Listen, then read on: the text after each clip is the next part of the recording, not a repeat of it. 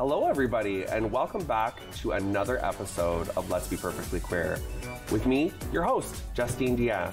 Now, I know usually on set you would see my lovely, beautiful, handsome, outgoing co host, Mr. Randy Davis, but unfortunately, um, Mr. Uh, Davis has to be out doing his job. Uh, his day to day, nine to five, has taken him away from the set uh, for the uh, next couple of episodes. So you are stuck with me, but I do have to say I have a very special and wonderful guest here to co host with me and just, you know, chew the cud, talk about some issues. Uh, ladies and gentlemen, everybody in between, please welcome to the show my drag sister, Miss Jemm Doshay. Hello, it's me. Randy's not here? No. Alrighty. Oh, you only came for Randy. yes. Yes, yeah, yeah. Yeah. I hear that a lot, unfortunately. Um, nobody ever wants to see me. They're always just, you know, you know what? We'll try to make good with the B team. It's fine. It's fine. Always, always with the B team, right? Um, so I am so happy to have you on today because we want to talk about some things that not a lot of people like to talk about.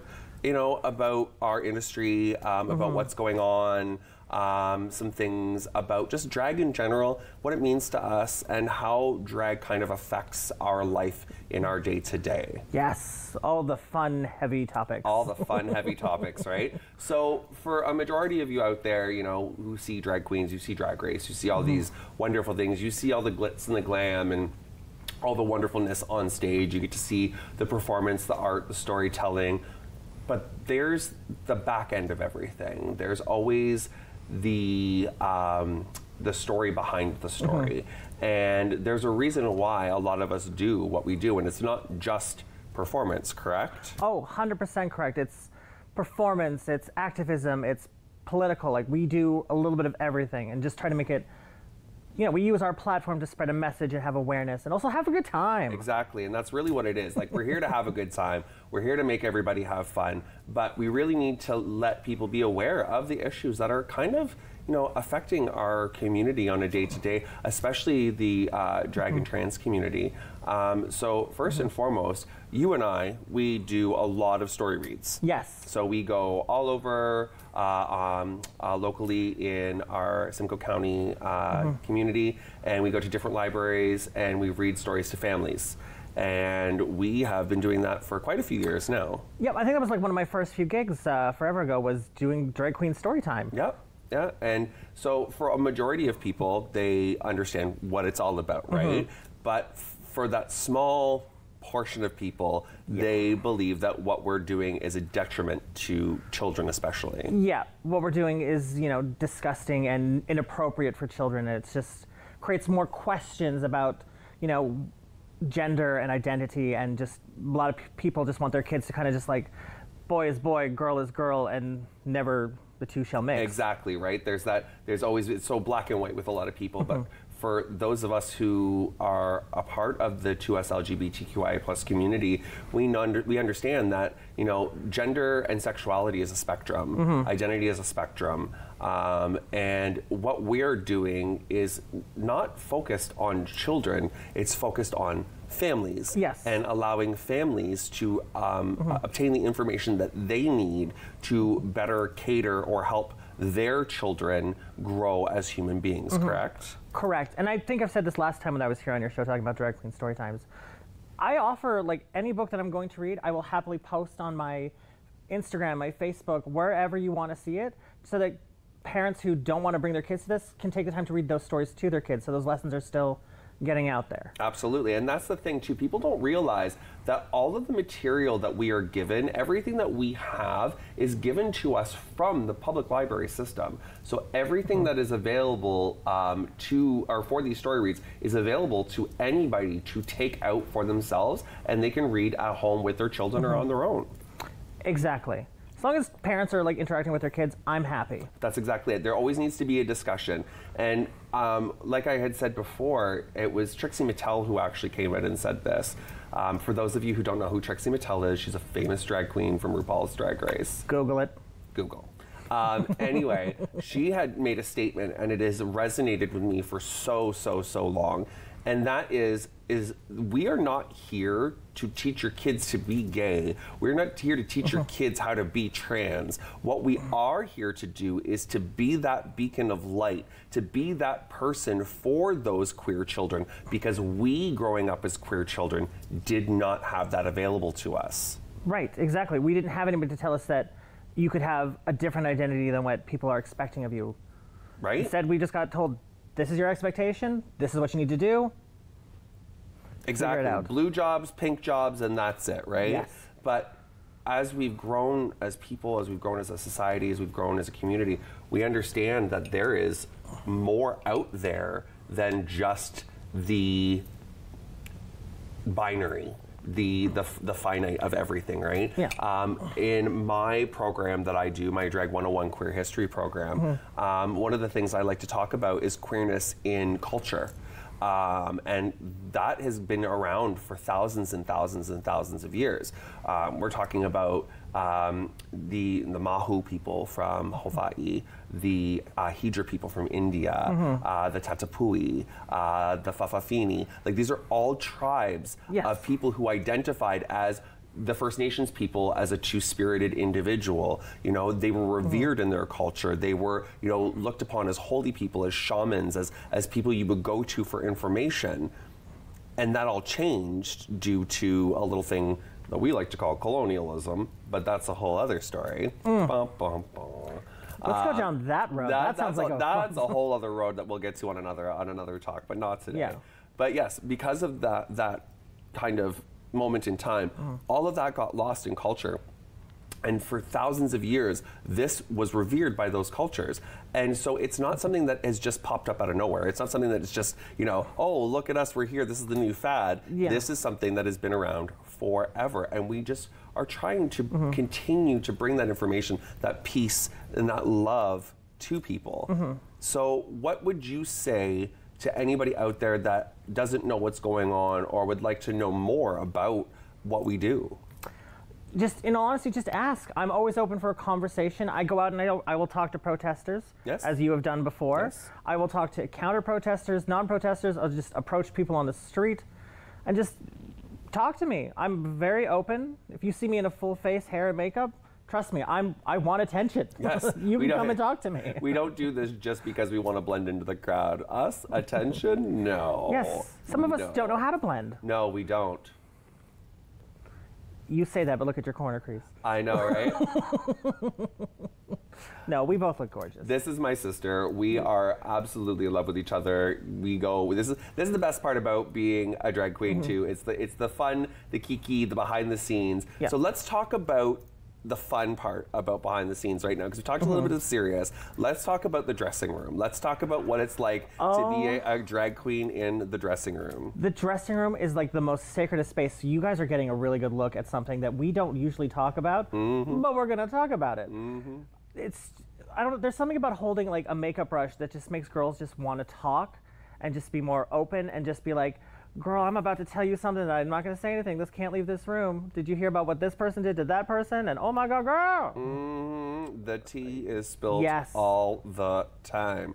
But it's also really funny because people think it's like, you know, it's a bunch of catty, you know, girls girls in the back doing their thing, whatever. Uh, and it's not. I have yet to be in a dressing room, and I've mm-hmm. shared dressing rooms with many different performers, the, our house, other houses, things like that, and it's always been met with nothing but love and respect oh. and and mm-hmm. joy and helping each other and Yeah. like this camaraderie, this sisterhood that we have, right? Yes, exactly. It's just like we all know like why we're there, what we're there for, and then from that we just go, oh, perfect. Like we know what we're gonna say to people. and We're gonna have like little jabs at each other. We're just gonna have fun because I've jokingly said that like there's jokes that you can tell to your friends, and then there's jokes that you can tell on a stage. We get those jokes we can only tell to our friends like mm-hmm. out in the dressing room. So when we get on stage, we're not saying anything that's gonna get us, you know.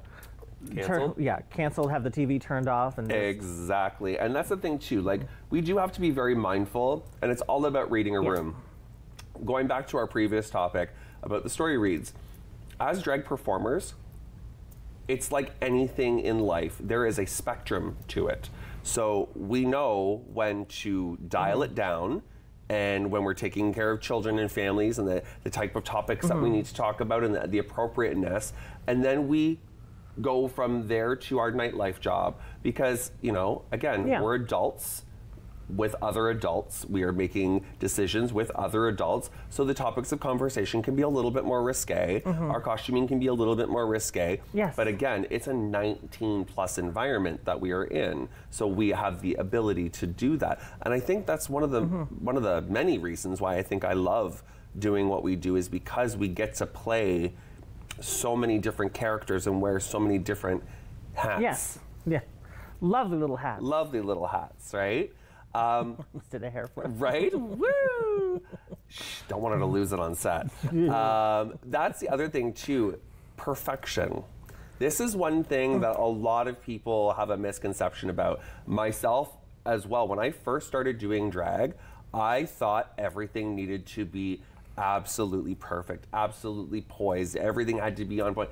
And then I started working with tons of different people all the bunch of girls from Toronto, some RuPaul's Drag Race queens, and I realized that I was taking my drag way too seriously, and there needs to be more fun to it. And don't get me wrong, when you're doing competition, when you're doing pageant, uh, which my lovely sister has done a pageant, Yes. I have not. Um, we will Second runner-up, entertainer of the year. Woo! But we will be competing this year together. Different competitions, but we will be competing together. Mm-hmm. Uh, but those are the areas where you need to, you know, mind your p's and q's and be on point Yes. and everything like that. But when it comes to a day-to-day show, like a bar show, it's all you're. At the end of the day, you're just gonna get sweaty and gross, and everyone wants to be there and watch you move. So Yeah. enjoy it and have fun because it's all about having fun, right? And who would you say is the grossest performer you've worked with, and why is it Carmen Del Rey?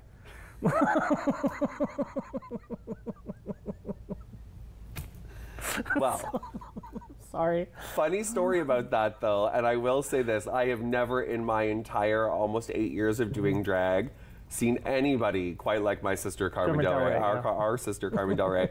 We were doing a show a little while ago, and we always get fed when we do restaurant shows. Mm-hmm. And the one time, she came.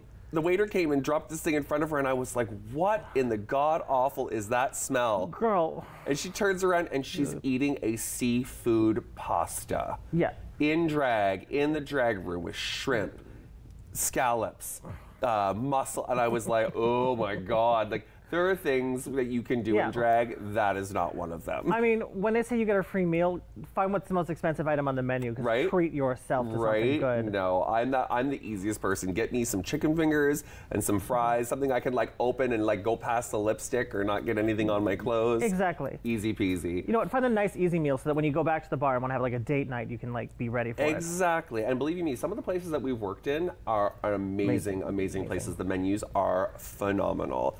Uh, speaking of which, Mm. uh, shows, Grillicious.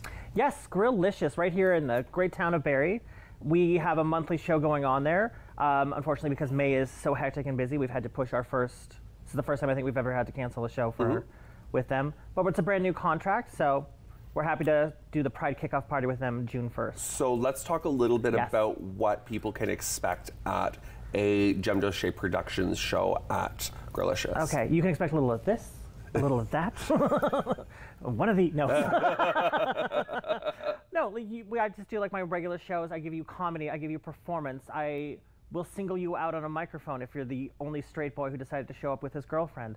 I will pick on you because it's fun for me. It is, and that's I think another reason why we love doing what we do because we get to be jokers. We get to have fun Oh, with yeah. the crowd, and we get to make people feel a little bit uneasy, but at the same time making them feel more comfortable with themselves. Mm-hmm. Um, so, where can they go to uh, get information for the show at Grillicious? Honestly, they can go to right to Grillicious's uh, Instagram page or its Facebook page at Grilliciousberry. Yep. Or you can follow my Instagram page at Jemm Doshay, J E M M D O S H A Y, because you really should. It's a good time. It- yeah, you really should. She's she's a good time. Yeah. She's a good time gal.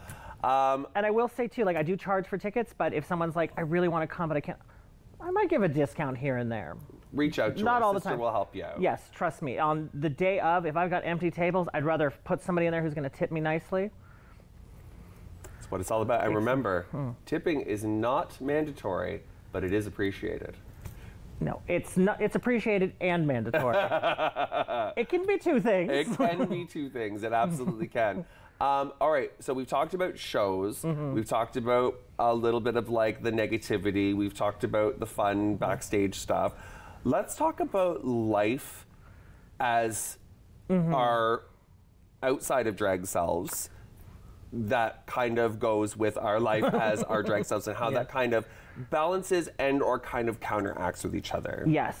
So, as you know, a you know day-to-day person, and so just so you know, when we're talking gender here, we both identify as he/him. We are cisgendered males outside of drag. So when I'm using this term, it is because this is how I know that we both identify. So as day-to-day as he/him, um, as Lucas. Oh, I used the government Government name. name. Oh, um, how does that day to day get affected by Jemm Doshay? Well, I find like when Lucas is Lucas and not Jem, it's just such a different feeling because there's people who don't even know who Lucas is, but they know who Jem is. In and out of drag, they don't know to call me Lucas. It's always Jem, Jem, Jem, Jem, mm-hmm. Jem. And then I always feel like I have to be the character and be on. And so from that, Lucas kind of gets pushed aside sometimes, which is sad because he's a great guy and he's single.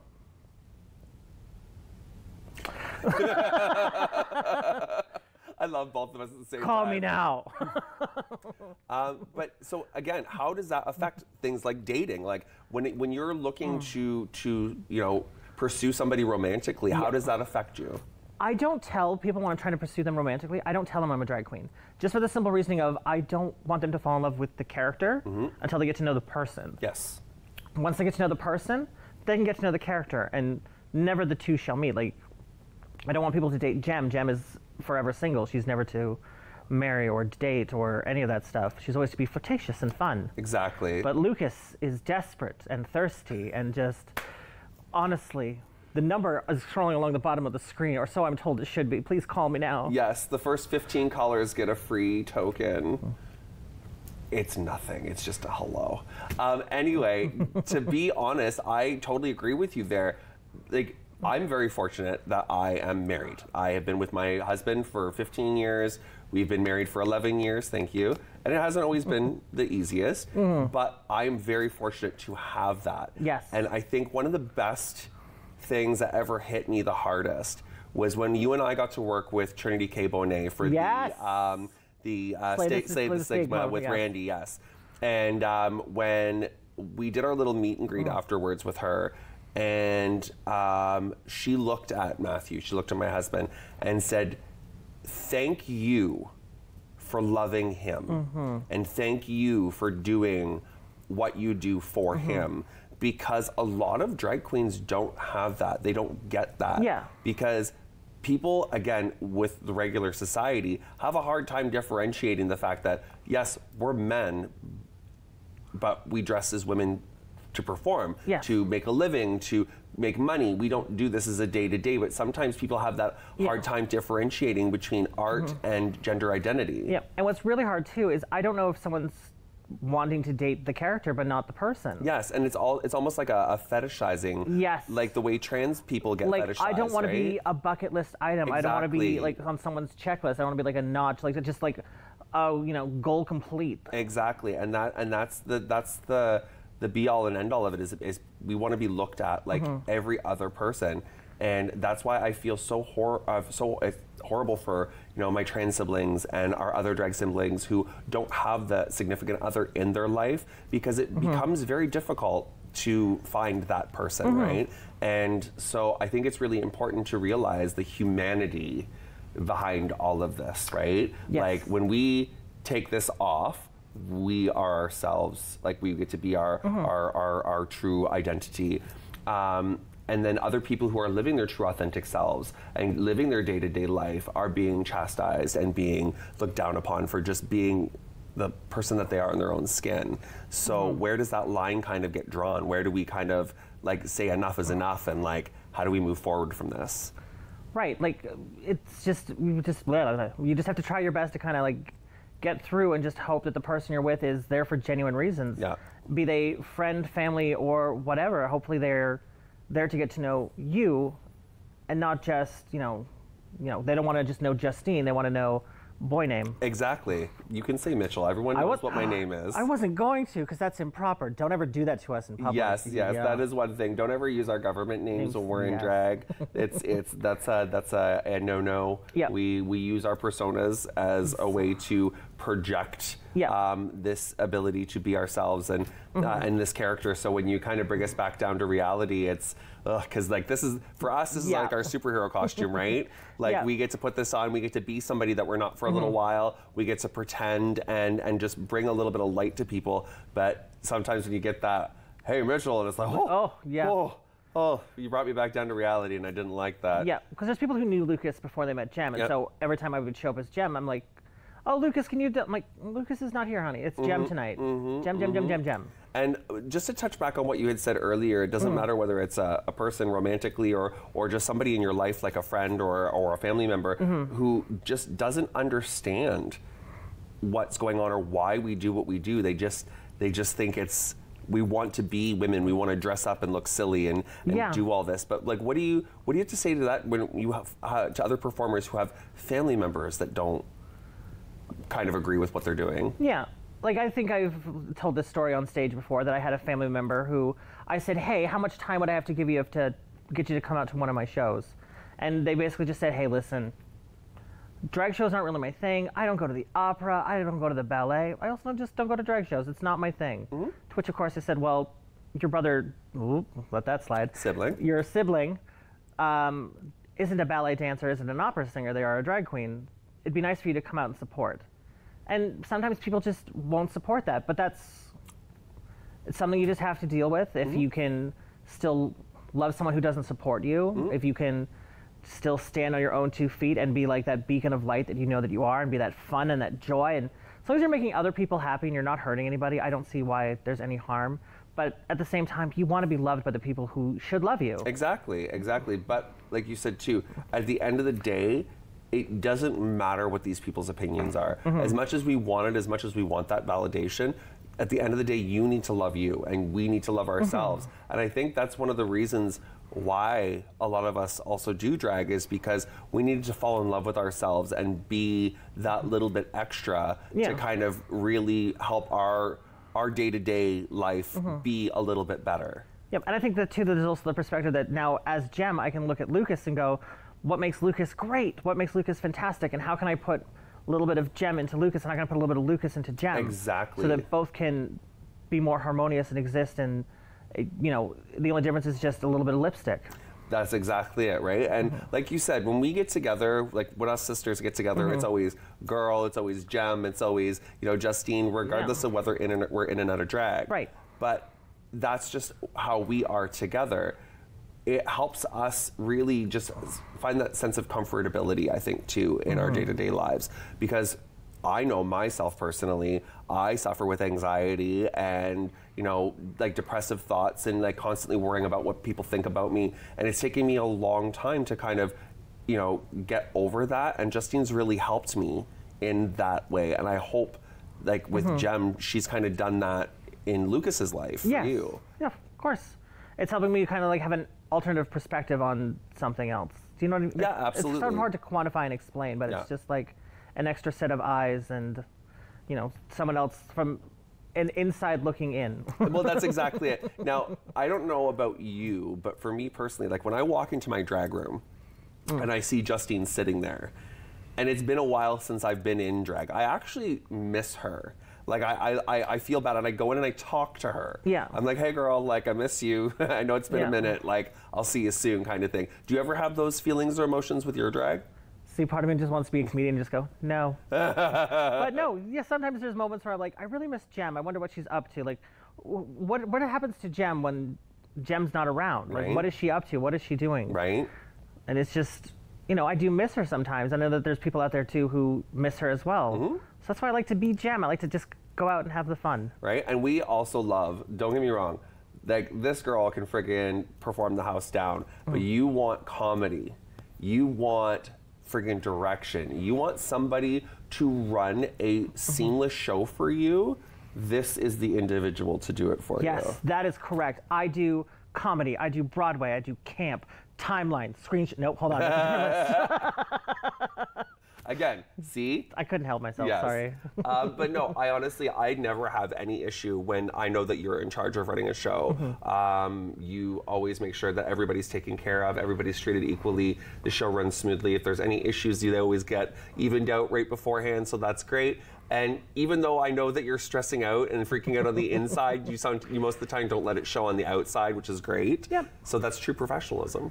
Yep. No, I always find my moments to kind of like take my breaths and go, okay, I have to be professional right now. I can't be the stress monster. I have to just be like, hey, we have to kind of move things around for this reason or that reason and just kind of keep the show moving along. That's exactly it. And you kind of, when it comes to shows, it's it's kind of just like sh- like a, a shoot from the hip kind of thing. Like, yeah, th- things happen, stuff happens, lights go out, uh, table legs break, uh, you know, somebody doesn't show up. Yeah. There's always something that happens. It's just knowing how to manage it in a professional manner, and you always do that. Yes. So thank you. I appreciate that, and I think I know that every person that works your shows really appreciates that Yeah. just some other things to like talk about too before we start wrapping up. Um, what can people expect to see from Jemm Doshay and her productions in the next little while? Oh gosh, I hope it's just they see the community that I'm trying to create here.